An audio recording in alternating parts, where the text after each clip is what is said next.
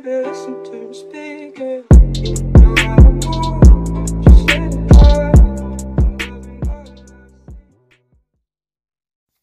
Pop, pop, pop, pop, pop, pop, Perswayable. What is going on, boo boos? Got exciting news. Uh, we are gonna come out with a YouTube membership portion. Uh, we'll we'll get more into the details of that, as well as uh, getting some of those mobile game reviews out there while still focusing on Identity Five. Just wanted to update you on that. Here is a dad joke. You ready? I ate a clock yesterday. It was very time consuming. I know that's not a knee jerk, like, oh, that's the best joke ever, but it is a little punny, right? Oh, look at that. Just punny for funny. Get it? All right. This is one of the most remarkable situations I've ever seen in Identity 5 gameplay. The most sickest, best mercenary block I've ever seen, probably in my entire career of Identity 5. But to understand why, I need to explain what's happening here. All right.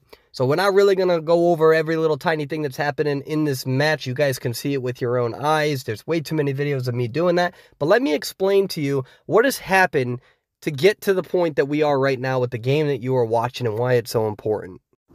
All right, I tried to record this in my car. It's way too fucking hot in there. I mean, we got the sun going, so I'm outside. So if you hear like birds chirping and shit, I promise you it's not Sears owls. It is just nature because it's beautiful. Anyways, let's get into the video. I'm rambling too much, and you know that's my thing to do. So this was China Day 1 qualifiers, and this was ACT versus ZQ. All right.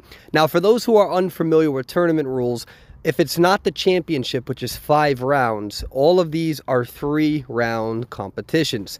Well, ACT and ZQ actually tied each other in round three. It was 12 to 12. That's why you see in the upper right and left hand corner is 1 1 and 1. So they both won one, they both lost one, they both tied one. But even if that's the case, it goes by a point system, how many points you have. So if, you know, if survivors are winning with three person escapes, even if relatively speaking the score is similar, one will win based on points. Well, in this case, it was 12 to 12. All right. And ACT's Hunter just eliminated two survivors. All right, that was in the round before. So now the score is 14 to 14. This is round four, and we see ACT as the survivor. So what does that mean, Perswayable? What are we looking for here? Well, for the most part, if the hunter wants to tie again, he needs to eliminate two survivors. That's really how it works. If ACT wants to say, you know what, fuck this, we have gone way too many rounds, we want to win this and end it now, they have to get three survivors out. Then you have the overtime rule. Now, the overtime rules are a little complicated. I'll do the best that I can to explain this. So, pretty much in the case of survivors escaping, it's pretty much whichever survivors escape the fastest. All right?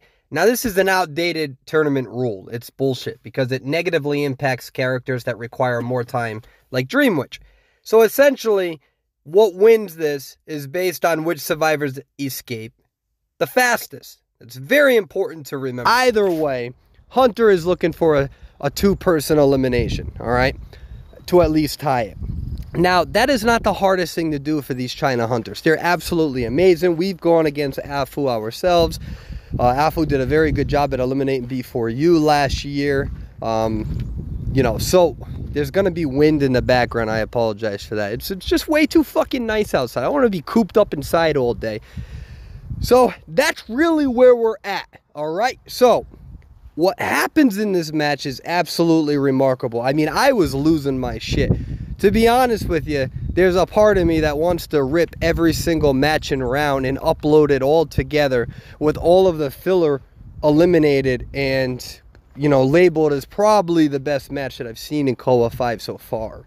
But not sure if I'm going to do it because it takes a lot of time. And uh, I have this tendency of saying I'm going to do shit and then I just don't do it. All right. But what we see AFU doing here is really just trying to slow the game down, but we see ACT doing a very good job at spreading around. I mean, their survivors are doing a remarkable job at slowing this game down and not trying to rush into something too fast to the point where they get caught. All right. And we see that they're at one cipher remaining, really making sure that they're not going to get hit. What they're doing is absolutely beautiful. They're sequencing the times they need to get on the cipher. Exact. The communication is amazing they're explaining to each other which follower is being controlled at which time, and they're making sure they're not overextending. So, for instance, JMT knows I have time to decode based on when the survivors are saying, okay, follower is on me. But to another degree, everything that I just said is bullshit right there. So, do you remember we spoke about the overtime rules? All right. Well, in the overtime, when ACT's Hunter was playing, so that was in the match before this, all right, ZQ survivors got out in approximately, approximately about six minutes and 47 seconds. So, how, what does that mean? Well, that now means that if ZQ can tie this match and force the survivors not to decode, or rather force the survivors not to escape faster than six minutes and approximately 47 seconds, ZQ wins. I know that's very, very annoying to understand. All right, let me show the picture of the time when ACT's Hunter was able to eliminate the two of ZQ. There we go. It was about 6 minutes and 48 seconds. I don't know exactly when the cutoff is. I know what the rules say, but sometimes you get that weird, like, couple seconds that happens even though the survivors escape. So even though everybody was like, ACT's doing a good job, ACT's doing a good job, and they are, they're doing remarkable. In a weird way, ZQ is doing what's needed. If ZQ can slow this match down, all right. And we already see that they're at the six minute and 28 second match uh, round. As long as ZQ eliminates one person, they win. So everybody's like, oh, the survivors are doing really good because they are. They're doing fucking remarkable. This is a good match. But there's a brilliance behind what the hunter is doing. And Afu knows the rules. This is a long term hunter. This hunter's played for a while. So we are now at the seven minute marker. Th- this now means well, six minutes and fifty five seconds, whatever. You know us, man. We all, we always compensate a little bit, you know. Say it's six when it's five, but never mind, whatever. So this is now different. Now, if Afu can get one person down, they win. They win the whole thing. Well, not the finals, but they win this. And now watch the greatest move from Mercenary. If Afu gets this hit on Patient, they win. Here we go. You ready? Patient using their skill, doesn't fool him, hits, boom! Fucking mercenary gets the body block for a three person escape. ACT ends up winning it. Holy shit. Let's do it again. We're going to keep this on repeat here because we see that the Dream Witch does have detention. If she gets this hit on patient, it's a tie. This body block literally allowed ACT to win. The, that one body block is the reason why ACT just won.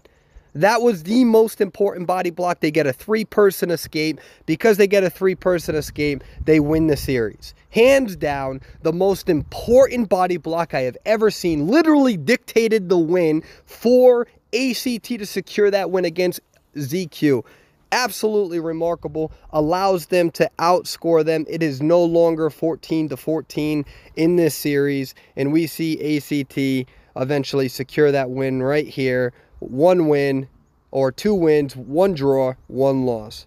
That is what you want to see from a mercenary. Absolutely amazing survivor, communication, super, super proud for them. All right, that's going to conclude the video, boo-boos. Thank you for watching the most important mercenary block of all time right there. What an amazing sequence of events for that China gameplay. Um, you know, I just came back. There's so much footage I'm working on. Thank you so much for being patient. We got a few things lined up in the future. Really excited uh, for our growth. Thank you for being part of my journey, boo-boo. See you soon. Bye-bye now.